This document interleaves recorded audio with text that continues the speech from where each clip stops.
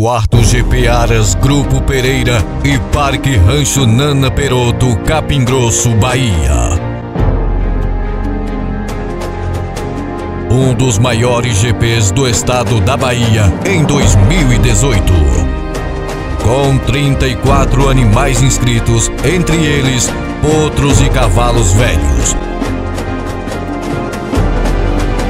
com uma premiação de 100 mil reais para os participantes. Um recorde de público e de apostas, chegando a 627 mil reais jogados. Capim Grosso, Bahia, a capital do turf do Nordeste.